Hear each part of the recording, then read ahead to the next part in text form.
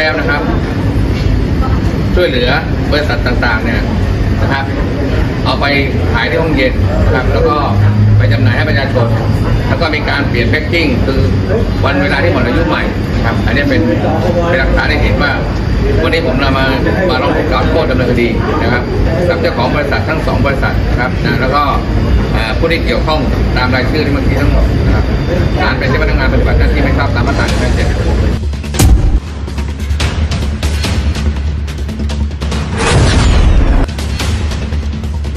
นายอัจฉริยะเรืองรัตนพงศ์ประธานชมรมช่วยเหลือเหยื่ออาชญากรรมนำเอกสารหลักฐานการมาร้องทุกข์กล่าวโทษ กับกองบังคับการป้องกัน และปราบปรามการทุจริตและประพฤติมิชอบ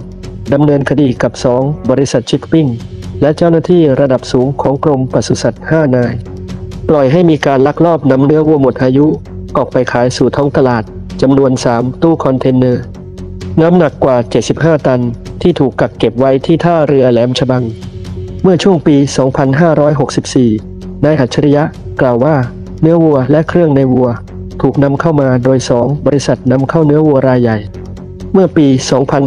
2561 ซึ่งขณะนั้นมีเจ้าหน้าที่กรมปศุสัตว์ที่เกี่ยวข้องทำการอายัดของกลางเอาไว้ตรวจสอบ จึงทำให้เนื้อวัวจำนวน 3 ตู้ หรือประมาณ 75-80 ตัน ไม่สามารถนำออกไปขายสู่ท้องตลาดได้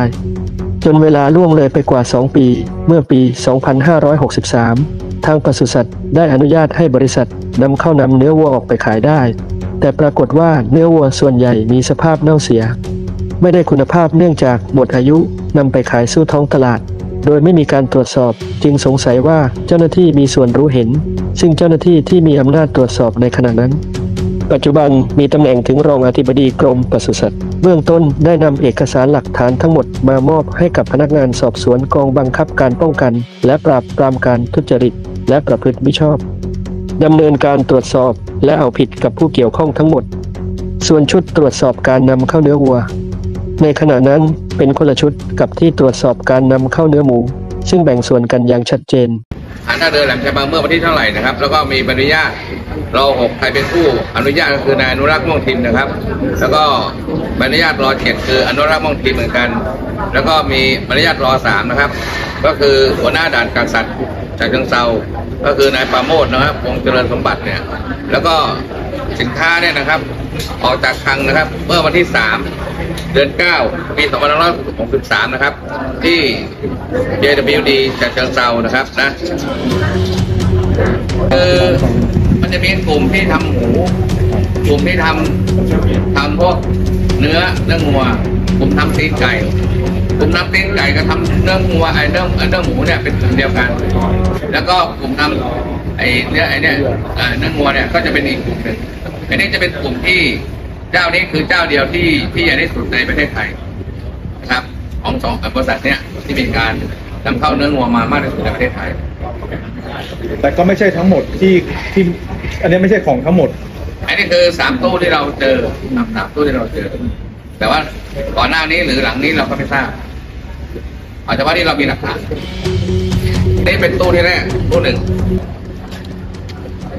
นะครับตู้แรกนะครับน้ำหนัก25ตันผมไปดูตู้ที่สองนะครับปล่อยให้มีการเอาเนื้องัวที่หมดอายุแล้วนะครับ ช่วยเหลือบริษัทต่าง ๆ เนี่ย นะครับ เอาไปขายที่ห้องเย็นนะครับแล้วก็ไปจำหน่ายให้ประชาชน แล้วก็มีการเปลี่ยนแพ็กกิ้งคือวันเวลาที่หมดอายุใหม่นะครับ อันนี้เป็นเป็นหลักฐานให้เห็นว่าวันนี้ผมนำมามาร้องทุกข์กล่าวโทษดำเนินคดีนะครับกับเจ้าของบริษัททั้งสองบริษัทนะครับนะแล้วก็ผู้ที่เกี่ยวข้องตามรายชื่อที่เมื่อกี้ทั้งหมดนะครับฐานเป็นเจ้าพนักงานปฏิบัติหน้าที่ไม่ชอบตามมาตรา157